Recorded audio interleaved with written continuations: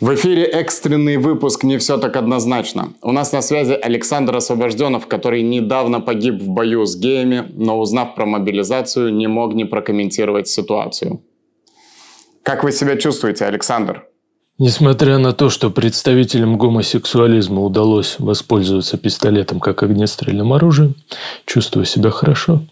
Один раз баньку сходил, как заново родился. Как вы относитесь к тому, что была объявлена мобилизация?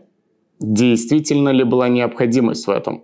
Для меня это потрясающая новость. Теперь поучаствовать в победе и сделать свой вклад в русский мир смогут не только профессиональные военные, но и рядовые граждане нашей страны. Это действительно необходимость. У нас оказалось не так много зэков, как хотелось бы. Но, с другой стороны, таких ценных бойцов никогда не бывает много. Зэки – это элита нашей армии. У них уже давно армейский распорядок дня. Мужики, привыкшие, свое дело знают. А как сейчас проходит мобилизация? По последней информации, на фронт принудительно были отправлены 222 тысячи добровольцев. Многие при вручении повесток оказывали сопротивление, что говорит о том, что мы имеем дело с настоящими бойцами. Мне известно, что некоторые личности скептически относятся к мобилизации, даже называют ее могилизацией.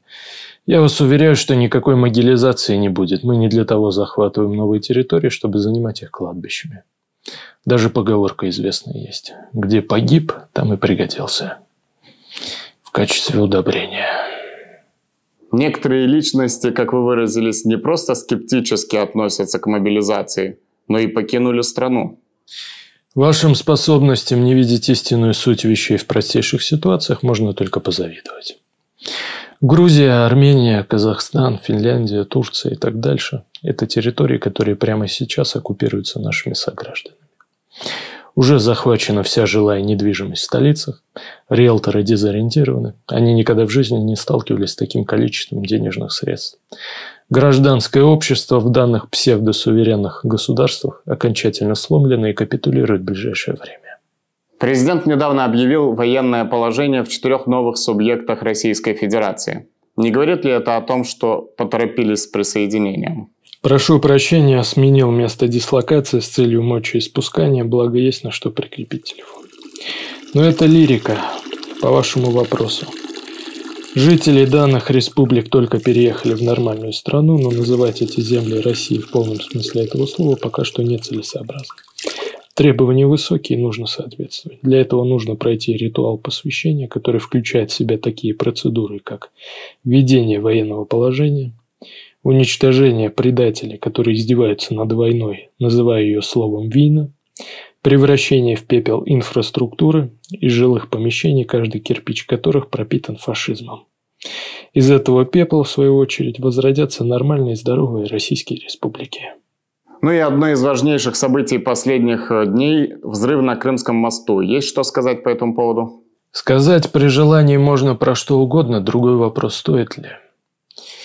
Ни для кого не секрет, что российские солдаты испытывают недостаток мотивации на этой войне. Основная причина – сокрушительная слабость украинской армии. Идея взорвать Крымский мост принадлежит мне. Ее удалось донести до высшего руководства страны.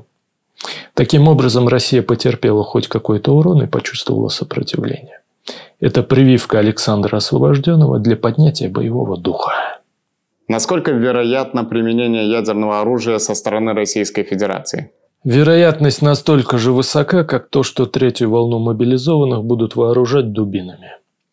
Около 98%.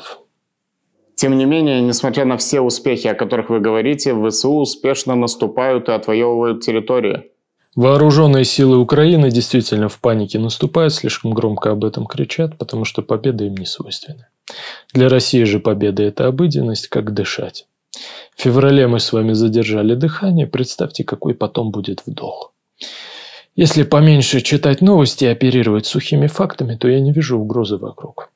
Вот я смотрю по сторонам, лево, право, вверх, вниз, и нигде не вижу Зеленского. Спасибо, Александр, до свидания. Всего доброго. Рекомендую сохранять бдительность и каждые 15 минут проверять помещение на наличие Зеленского. Это был экстренный выпуск «Не все так однозначно».